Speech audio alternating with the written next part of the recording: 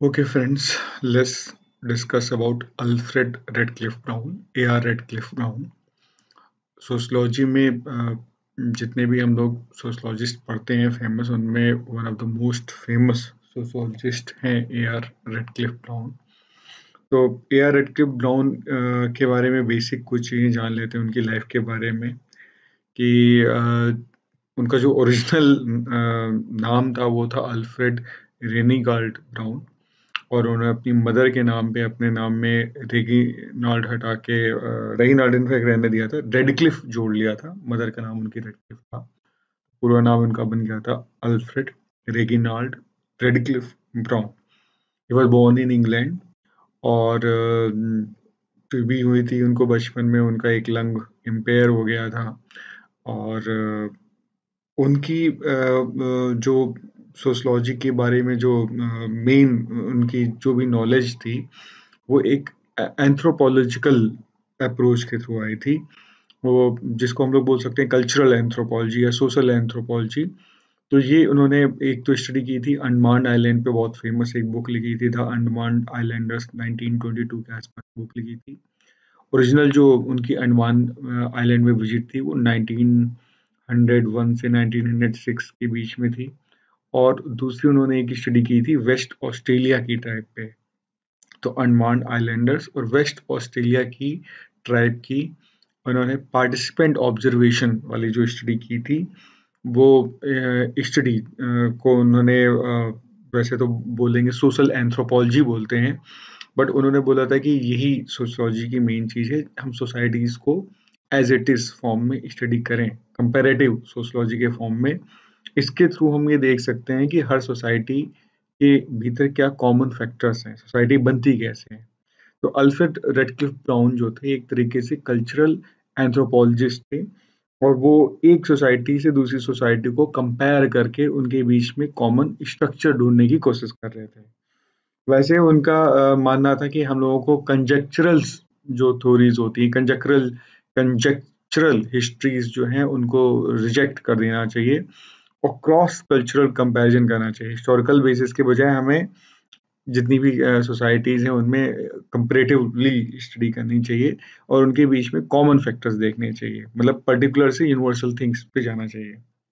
उनकी जो A R Radcliffe brown की जो कॉन्सेप्ट थी, जिसको हम लोग बोलते हैं स्ट्रक्चरल फंक्शनलिज्म स्ट्रक्चरल फंक्शनलिज्म की उन्होंने अप्रोच दी। वैसे स्ट्रक्चरल फंक्शनलिज्म पे हम लोग बाद में आएँगे।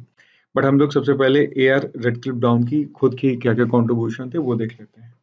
देखिए ए आर रेडक्लिफ ब्राउन का मैंने बताया सबसे पहला कॉन्ट्रीब्यूशन यही था कि सोशोलॉजी जो है हमें कंपेरेटिव बेसिस पे पढ़नी चाहिए और एंथ्रोपोलॉजिकल अप्रोच रखते हुए उन्होंने स्टडी की। मतलब जो प्रिमिटिव सोसाइटीज थी, उनको उन्होंने स्टडी किया एंडमान आइलैंडर्स और वेस्ट ऑस्ट्रेलियन और उसको कंपेयर किया।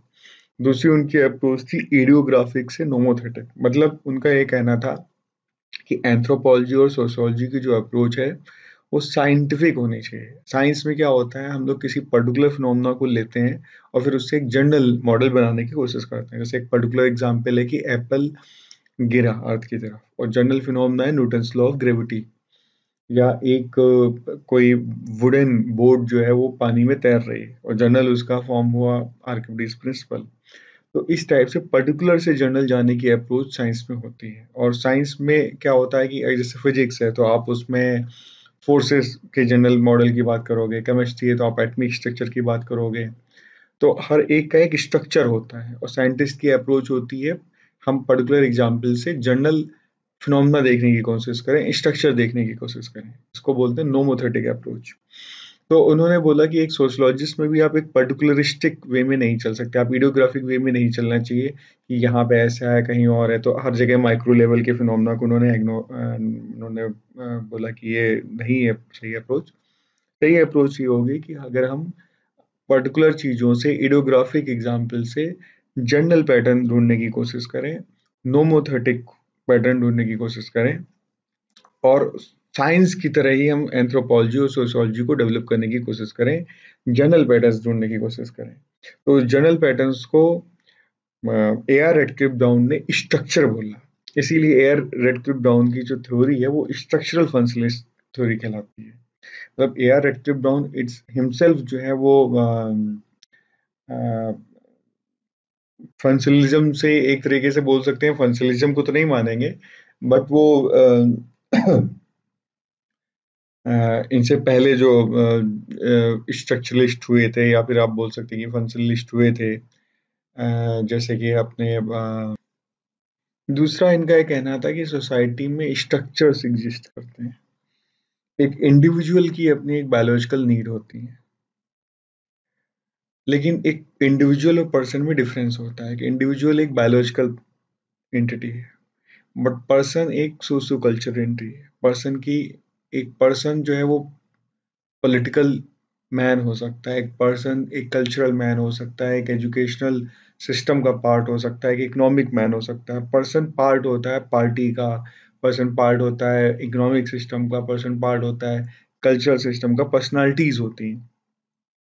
तो ये पर्सनालिटीज मिलके जो कॉमन वैल्यूज़ और नॉर्म्स होते हैं, उनसे वो मोटिवेटेड रहते हैं और उससे एक बनता है सोशल स्ट्रक्चर जो कि अपने आप में एक रियलिटी है। सोशल स्ट्रक्चर एक ऑब्जर्वेबल रियलिटी है। और ये सोशल स्ट्रक्चर कोई haphazard conjunction of person नहीं है। ये एक ऑर्गेनाइज सिस्टम्स है जिसमें वैल्यूज़ और नॉर्म्स जो है वो पर्सनस के बीच में रिलेशनशिप्स को कंट्रोल करते हैं। एक बंदा, एक पर्सन जानता है how he is expected to behave according to these norms and values and is justified in expecting the other person should do the same तो ये जो ए आर रेड डाउन का स्ट्रक्चर पे फोकस था। वैसे तो फंक्शनलिस्ट का भी ये था कि सोसाइटी का एक स्ट्रक्चर होता है और उसके कुछ फ़ंक्शन होते हैं। बट ए आर का मानना था कि जो मालिनोवस्की से अलग था मालिनोवस्की का काम था कि स्ट्रक्चर के फ़ंक्शन बनाना। बट ए आर का कहना यह था कि हमें फंक्शनलिज्म अगर वर्ड यूज़ कर देते हो तो ये बिल्कुल फंक्शनलिज्म मार्क्सिज्म एक एक मतलब पर्टिकुलर टाइप की माइंडसेट हो गई। जबकि ए आर का कहना था कि स्ट्रक्चर तो हर जगह एग्जिस्ट करते हैं दे आर यूनिवर्सल थिंग्स आप उनको किसी इज्म के साथ एसोसिएट ना करो। तो उनका ये कहना था कि या रेडकिल ब्राउन का कि हमारी जो स्ट्रक्चरल फंक्शनल अप्रोच है, वो स्ट्रक्चर किसी भी सोसाइटी के सर्वाइवल के लिए सबसे इम्पोर्टेंट चीज़ होती है एक मिनिमम इंटीग्रेटेड स्ट्रक्चर और उस उस एक इंटीग्रेशन और सॉलिडरिटी के अपने कुछ फ़ंक्शंस होते हैं।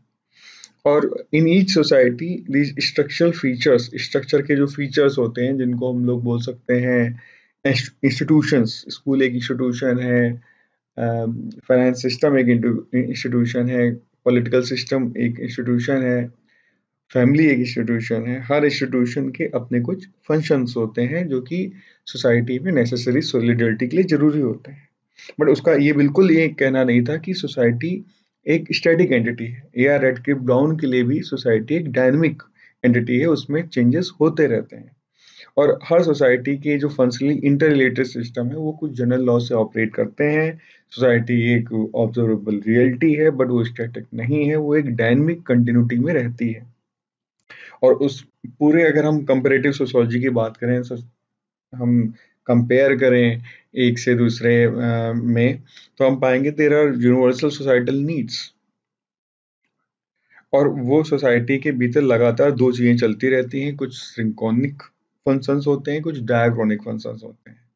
कुछ एक दूसरे के साथ यूनाइजन में होते हैं, जो इंटीग्रेट कर रहे होते हैं, कुछ डिसइंटीग्रेट कर रहे होते हैं डायक्रोनिक टेंडेंसीज और जुनूमिया, डिसनोमिया की बातें की एयरट क्लिबाउन ने। अगर हम स्ट्रक्चरल फंक्शनलिज्म की बात करें तो स्ट्रक्चरल फंक्शनलिज्म एक मैक्रो लेवल पर्सपेक्टिव है। मैक्रो लेवल पर्सपेक्टिव तो कॉन्फ्लिक्ट पर्सपेक्टिव भी है। बट ये कहता है कि सिस्टम एक इंटर रिलेटेड पार्ट से बनी है। Society is a system of interrelated parts और ये इंटीग्रेटेड है रूल्स और नॉर्म्स से। इंस्टीट्यूशंस का काम होता है इन रूल्स और नॉर्म्स को फैलाना। सोसाइटी के मेजर पार्ट इंस्टीट्यूशंस है। इंस्टीट्यूशंस इंटर रिलेट इंटरडिपेंडेंट है इंटर रिलेटेड है, बिल्कुल इंडिपेंडेंट और अनरिलेटेड टाइप की नहीं। उनमें आपस में सिम्बोसिस होता है। तो अगर हम इन जनरल बात करें तो structural functionalism approach conflict theory और सिम्बॉलिक इंटरेक्शनिज्म ये तीन सोशियोलॉजिकल पैराडाइम्स हैं। स्ट्रक्चरल फंक्शनलिज्म में लेवल ऑफ़ एनालिसिस मैक्रो होता है कन्फ्लिक्ट थ्योरी में भी मैक्रो होता है बट सिम्बॉलिक इंटरेक्शनिज्म में ये लेवल ऑफ़ एनालिसिस माइक्रो हो जाता है। वन टू वन इंटरेक्शन और कम्युनिकेशन पे फोकस करते हैं। स्ट्रक्चरल फंक्शनल स्कूल में भी सब डिविजन्स हैं। एक ब्रिटिश स्कूल है एयर एट क्लिप डाउन नाइडल लीच इवांस प्रिचार्ड का। एक अमेरिकन स्कूल है Talcott Parsons Robert Robert Merton Murdock का। एक फ्रेंच स्कूल है एमली डरखाइम लेवी स्ट्रॉस का। तो वैसे A R Radcliffe Brown, Levi Strauss और मालिनोवस की ब्रोनिस्ला मालिनोवस की ये सारे फ़ेमस सोशोलॉजिस्ट हैं जो कि फंस स्ट्रक्चरल फंक्शनलिज्म या मिलता जुलता फंक्शनलिज्म में आते हैं। तो rituals faith economy family education इन सब का काम है सोसाइटी को स्टेबिलिटी देना। जैसे family reproduction nurturing socialising function करके एजुकेशन स्किल नॉलेज कल्चर के थ्रू पॉलिटिक्स गवर्नमेंट के थ्रू इकोनॉमिक्स प्रोडक्शन डिस्ट्रीब्यूशन और कंजम्पशन के थ्रू रिलीजन एक मोरल गाइडेंस और आउटलेट के through structural functionalism approach unity और हैप्पीनेस पे फोकस करता है। और जो ए आर एडक्लिफ ब्राउन का कहना है, वो ये कहना है कि सोसाइटी की अपनी खुद की कुछ नीड्स होती हैं, जिनको सोशल इंस्टीट्यूशन पूरा करते हैं।